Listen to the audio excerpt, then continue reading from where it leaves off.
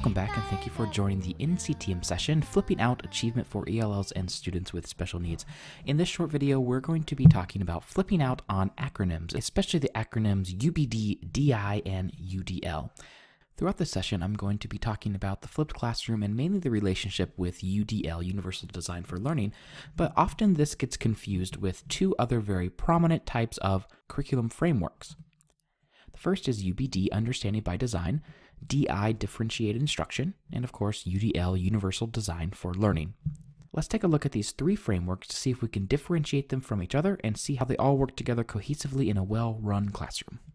The first framework is Understanding by Design. This has been given the tagline Plan with the Goal in Mind. There are mainly three stages to this. The first is that you identify the desired results. This is talking about standards and objectives. Then you determine acceptable evidence. How will you assess the students? The third stage is to plan the learning experiences and instructions. Understanding by design is often called backwards design. So you think about the goal first and you work backwards to the everyday learning experiences and instruction. The second framework is differentiated instruction. This tagline may be planned with the learner in mind. So each student comes to our classroom with different sets of needs. This is not new to us. We see it every day in our classroom and in every class. Differentiated instruction allows us to meet the learning goals and needs of these different learners by modifying the content, the process, and the product. Meeting students' needs is really based on their readiness when they come into their class, their interest, and also their learning preference. Readiness is often thought of content level, interest may also be thought as motivation, and learning preference is also often referred to as learning style. The third framework, and the one that we will be focusing most of our time on, is universal design for learning. Now, why would I begin by showing this architecturally well designed and aesthetically pleasing kitchen? Universal design for learning originated from the concept of universal design in engineering and architecture. Universal design in engineering and architecture is built around the idea that anything that is needed to accommodate someone with a physical disability is already built into the design and does not need any additional planning or modification. For example, if you or someone in your family suddenly needed to be in a wheelchair, in this kitchen, you would not need to modify any of the existing structures. Already, there is plenty of space for a wheelchair to move in, there's open spaces, and nothing additional would need to be done to remove the barriers for a wheelchair.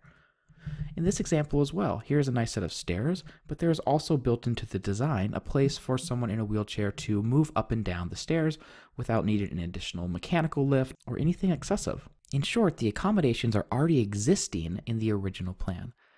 This connects very well to Universal Design for Learning, where we talk about removing all barriers for students, perhaps even before we know who our students are or what their needs will be. One of the main ideas behind Universal Design for Learning is that you can respect the needs of all the students by removing the barriers to education beforehand, which often results in reducing the amount of individual modification that is necessary. Now, all three of these things work together very nicely. For example, if somebody needs individual modification, of course, differentiated instruction would work well, and we do want to plan backwards with the goal in mind, thinking about assessments first. But UDL is about giving everyone equal access to education. In a way, it's like inherent differentiation. It's differentiation that is built into the lesson plan. Over the past year, when I was studying Universal Design for Learning, this is when I got really excited about this topic.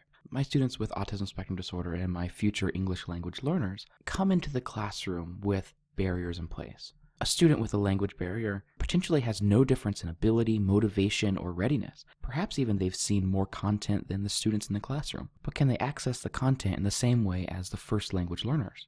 No, they can't.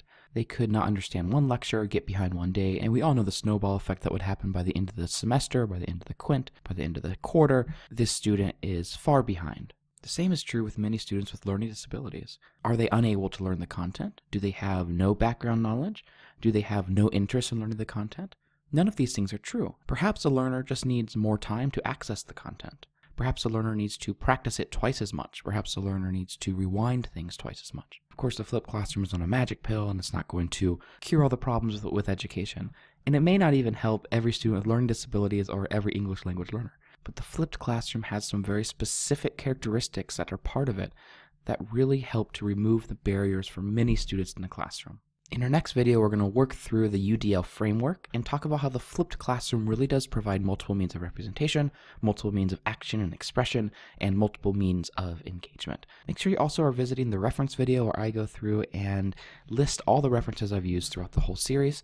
And I'm also going to give you a link to a Dropbox folder, which is going to be filled with a whole bunch of articles and academic research and suggestions. Have a good day, and we'll see you in the next video.